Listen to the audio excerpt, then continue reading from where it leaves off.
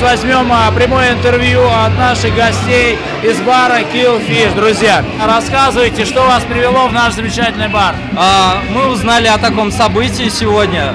Решили... Я просто шокирован и очень доволен. Это огурец? Да, это огурец, да, совершенно верно. Как ты относишься к огурцам? К огурцам э, очень питательный напиток, так скажем, если вырезать сердцевинку и налить туда водяры. Олег, расскажите, за что вы любите Killfish? Э, за посещаемость, за посещаемость. За посещаемость. Вот так вот, друзья. Чем больше народу, тем лучше движуха, друзья. Слушай, а что вообще самое любимое у тебя вот в баре? Боярский. 2 плюс 2. 4, 3 плюс 3. 6, 3 плюс 2. Killfish.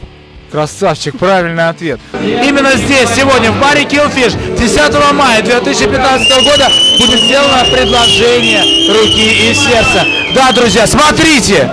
В этом букете есть одна очень ценная вещь.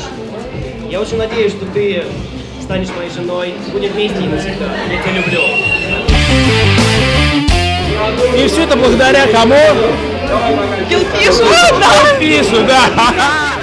Security, Killfish, а, парни, как работается? Очень много народу сюда приходит каждый день. Сколько человек вы пропускаете, я не знаю, за обычный и средний выходной? Ну, я думаю, больше сотни.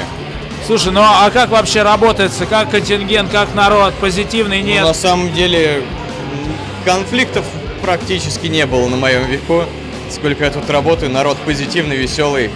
Любит хорошо отдыхать и веселиться. Все идут в Killfish.